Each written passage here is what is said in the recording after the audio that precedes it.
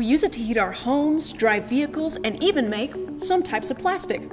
Hi everyone, I'm Megan with the Governor's Office of Energy Development, and today we're going to learn about natural gas. So first, what is natural gas and why is it important? Natural gas is a type of hydrocarbon or fossil fuel that was formed from the remains of prehistoric plants and animals over millions and millions of years. While it's an old resource, it's recently made a rise to dominate the markets due to its affordability and low emissions. Here in Utah, we continue to demonstrate national leadership in the way that we responsibly develop and strategically use this precious resource.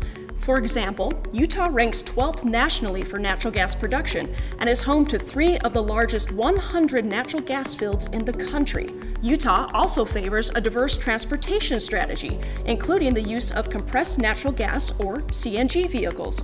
In 2017, Utah had the second largest number of public CNG refueling stations per capita. Well, now that you know a little bit more about Utah's world-class resource, let's take a deeper look into how and where natural gas was formed in Utah all those years ago.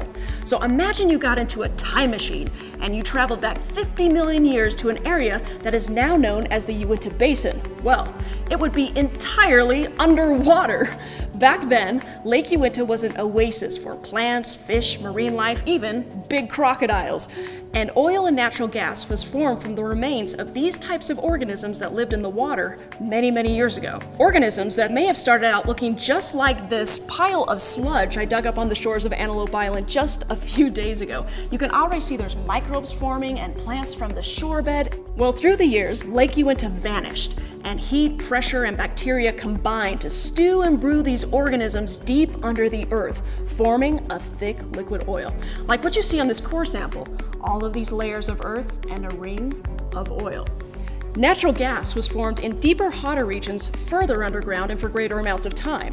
This entire process, or circle of life, shows how states of matter like a solid can change to a liquid or a gas when their physical conditions change. Let's drill this home with an example. For this activity, you're going to need a measuring cup, water, cooking oil, a clear plastic bottle, two Alka-Seltzer tablets, and a balloon. First, pour a quarter cup of water into the clear bottle, just like this.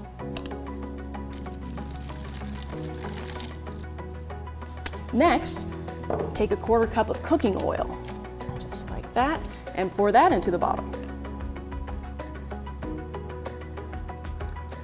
So you can already see the layers are separating based on density. The water is actually more dense than the oil, so the oil rises up to the top. Now let's make it interesting. Take your two Alka-Seltzer tablets and snap them in half so they can fit through this narrow opening, just like that, and immediately stretch over a balloon.